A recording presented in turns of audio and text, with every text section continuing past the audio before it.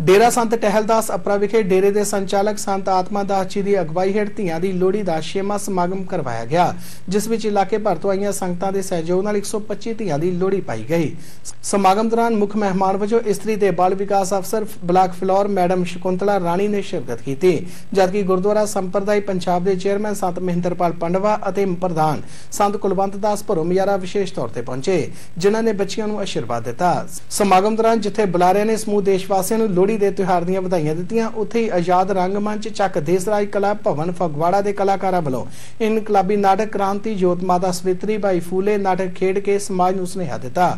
ਇਸ ਮੌਕੇ ਸਰਕਾਰੀ ਹਾਈ ਸਕੂਲ ਅਪਰਾ ਅਤੇ ਸਰਕਾਰੀ ਹਾਈ ਸਕੂਲ ਸ਼ੋਕਰਾ ਦੇ ਬੱਚਿਆਂ ਵੱਲੋਂ ਕੋਰੀਓਗ੍ਰਾਫੀਆਂ ਰਾਹੀਂ ਬੇਟੀਆਂ ਦਾ ਸਤਿਕਾਰ ਕਰਨ ਲਈ ਪ੍ਰੇਰਿਤ ਕੀਤਾ ਗਿਆ।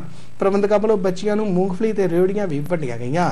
ਜਦਕਿ ਆਏ ਹੋਏ ਮਹਿਮਾਨਾਂ ਨੂੰ ਵੀ ਗੁਰੂ ਘਰ ਦੀ ਬਖਸ਼ਿਸ਼ ਸਿਰਪਾਓ ਦੇ ਕੇ ਸਨਮਾਨਿਤ ਕੀਤਾ ਗਿਆ। ਇਸ ਮੌਕੇ ਤੇ ਗੋਪਾਲ ਰਾਮ ਬੈਂਸ, ਜੋਗਰਾਜ, ਹਰਜਸਕਰਨ ਰਾਮਲਾਲ, ਰਾਮਕਿਸ਼ਨ, ਦੇਸਰਾਜ ਰਾਜੂ, ਕਮਲ ਕੁਮਾਰ, ਸ਼ਿੰਗਾਰਾ ਸਿੰਘ, ਕੁਲਦੀਪ ਸਿੰਘ ਜੋਹਲ ਆਦ ਹਾਜ਼ਰ ਸਨ। ਇਸ ਮੌਕੇ ਸੰਗਤਾਂ ਵਿੱਚ ਗੁਰੂ ਕਾ ਲੰਗਰ ਅਟੁੱਟ ਵਰਤਾਇਆ ਗਿਆ। ਅੱਜ ਡੇਰਾ ਸੰਤ ਦਾਸ ਸੰਤ ਬਾਬਾ ਸਤਨਾਮ ਚੌਂਕ ਵਿਖੇ ਛੇਵਾਂ ਧੀਆਂ ਦੀ ਲੋਹੜੀ ਦਾ ਸਮਾਗਮ ਬੜੀ ਪ੍ਰਭਾਵਸ਼ਾਲੀ ਢੰਗ ਦੇ ਨਾਲ ਸੰਗਤਾਂ ਨੇ ਮਨਾਇਆ। ਜਿਹਦੇ ਵਿੱਚ ਧੀਆਂ ਨੂੰ ਜੋ ਭਰੂਣ ਹੱਤਿਆ ਵਰਗੀਆਂ ਇਹ ਨਾਮਰਾਜ ਬਿਮਾਰੀਆਂ ਉਹਨਾਂ ਤੋਂ ਛੁਟਕਾਰਾ ਪਾਉਣ ਲਈ ਔਰ ਸਿੱਖਿਆ ਕਰਨ ਲਈ ਸਮਾਜ ਵਿੱਚ ਬਣਦਾ ਰਤਵਾ ਦੇਣ ਲਈ ਇਹ ਜੋ ਸਿੱਖਿਆਦਾਇਕ ਨਾਟਕ, ਕਵਿਤਾਵਾਂ, ਗੀਤ ਦੁਆਰਾ ਪ੍ਰੇਰਿਤ ਕਰਨ ਦਾ ਇੱਕ ਬਹੁਤ ਵੱਡਾ ਸੰਗਤਾਂ ਨੇ ਉਪਰਾਲਾ ਕੀਤਾ ਆ।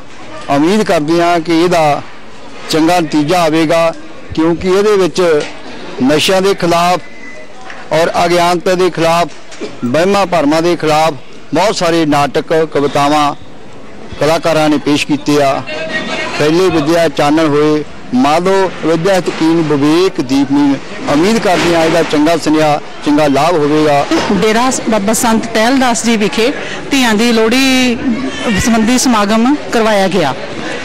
ਇਸ ਵਿੱਚ ਵੱਖ-ਵੱਖ ਪਿੰਡਾਂ ਤੋਂ ਮਤਲਬ ਮਦਰਜ਼ ਆਪਣੀਆਂ ਬੱਚੀਆਂ ਨੂੰ ਲੈ ਕੇ ਆਈਆਂ। ਤੇ ਜਿਸ ਦੇ ਵਿੱਚ ਉਹਨਾਂ ਨੂੰ ਧੀਆਂ ਦੀ ਲੋਹੜੀ ਮਨਾਉਣ ਸੰਬੰਧੀ ਸੁਨੇਹਾ ਦਿੱਤਾ ਗਿਆ। ਉਹਨਾਂ ਨੂੰ ਕਿਉਂਕਿ ਮੁੰਡਿਆਂ ਦੀ, ਲੜਕੀਆਂ ਦੀ ਲੋਹੜੀ ਤਾਂ ਪਹਿਲਾਂ ਤੋਂ ਹੀ ਮਨਾਉਂਦੇ ਆਏ ਆ ਤੇ ਮੁੰਡੇ ਜਿਸ ਦੇ ਨਾਲ ਕੀ, ਇਸ ਤਰ੍ਹਾਂ ਕੀ ਲੜਕੀਆਂ ਦੇ ਨਾਲ ਸ਼ੁਰੂ ਤੋਂ ਹੀ ਵਿਤਕਰਾ ਹੁੰਦਾ ਆਇਆ ਕਿ ਲੜਕੀਆਂ ਦੀ ਲੋਹੜੀ ਪਹਿਲਾਂ ਨਹੀਂ ਮਨਾਈ ਜਾਂਦੀ ਸੀਗੀ। ਤੇ ਜਿਸ ਕਾਰਨ ਹੁਣ ਆਪਾਂ ਦੇਖਦੇ ਹਾਂ ਕਿ ਹੁਣ ਆਪਣੇ ਬਹੁਤ ਜ਼ਿਆਦਾ ਜਾਗਰੂਕਤਾ ਆ ਚੁੱਕੀ ਹੈਗੀ ਆ। ਹੁਣ ਥਾਂ ਥਾਂ ਤੇ ਆਪਾਂ ਧੀਆਂ ਦੀ ਲੋਹੜੀ ਜਿਹੜੀ ਮਨਾਈ ਜਾਂਦੀ ਆ, ਤਾਂ ਕਿ ਧੀਆਂ ਤੇ ਪੁੱਤਰਾਂ ਨੂੰ ਬਰਾਬਰ ਦਾ ਦਰਜਾ ਦਿੱਤਾ ਜਾਵੇ ਤੇ ਨਾਲ ਉਹਨਾਂ ਨੂੰ ਪੁੱਤਰਾਂ ਦੇ ਬਰਾਬਰ ਹੀ ਹਰ ਇੱਕ ਮਤਲਬ ਖੇਤਰ ਦੇ ਵਿੱਚ ਵੱਧ ਤੋਂ ਵੱਧ ਪਿਆਰ ਦਿੱਤਾ ਜਾਵੇ ਤੇ ਪੜਾਇਆ ਜਾਵੇ।